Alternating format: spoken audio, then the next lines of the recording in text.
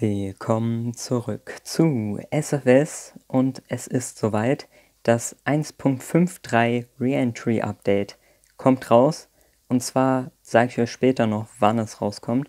Zuerst will ich euch zeigen, was alles rankommen wird oder im Update vorkommen wird und ich würde sagen, wir fangen gleich mal an.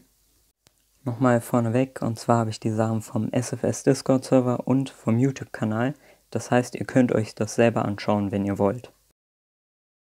Die erste Sache ist nur ein kleines neues Feature, aber ihr könnt sehen, es hat mit der Stufe zu tun. Und zwar kann man jetzt einfach die Sachen markieren, die ihr in die Stufe reinhaben wollt. Und dann sind sie automatisch mit drin. Und ihr seht auch noch diesen kleinen Knopf neben dem X. Der ist wahrscheinlich dafür, Sachen zu kopieren. Die nächste Sache ist auch noch ziemlich klein, aber auch ziemlich interessant. Und zwar ist es so, wenn jetzt neben euch irgendwelche Sachen auf dem Boden aufprallen, dann wackelt der Bildschirm. Diese Sache ist ganz schön alt, sie wurde aber auch wieder hinzugefügt. Ich kann mich auch gar nicht mehr daran erinnern. Und zwar ist es so, dass in der Mitte, wo die Nutzlastverkleidungen sich teilen, eine Linie war. Die wird jetzt wieder hinzugefügt und ich finde, es sieht eigentlich ganz, ganz cool aus. Und jetzt kommen wir zur Sache, auf die ihr wahrscheinlich gewartet habt, und zwar dem Wiedereintritt in die Atmosphäre. Ihr seht da die Kapsel, die glüht schon ganz schön.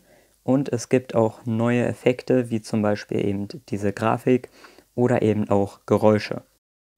Doch Effekte sind nicht alles. Und zwar kommt noch etwas hinzu, nämlich die Zerstörung von Raketen.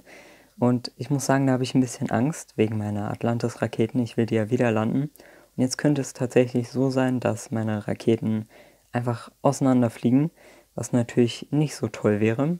Deshalb werde ich dann unbedingt noch ein bisschen testen müssen, bevor ich da auch weitermachen kann. Ansonsten seht ihr hier halt die Rakete, wie sie eben dabei ist, auseinander zu fliegen, was natürlich auch hochinteressant ist. Äh, das Video dazu wieder in der Videobeschreibung und jetzt schauen wir uns das nächste an.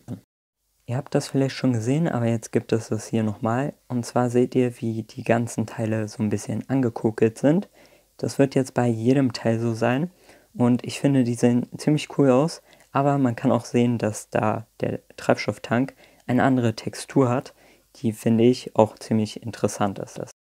Hier noch ein weiteres Bild und zwar seht ihr, dass die ganze rechte Seite von der Rakete ziemlich angekokelt ist und äh, sollte es doch klappen mit den Atlantis-Raketen, dann wäre es ziemlich cool, wenn da überall so leicht angeräucherte Markierungen wären.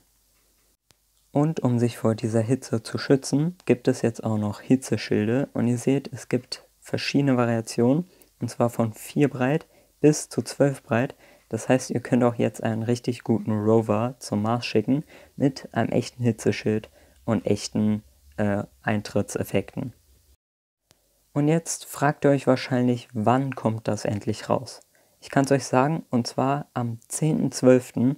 kommt das raus. Also wenn ihr das Video schaut, nächste Woche Freitag.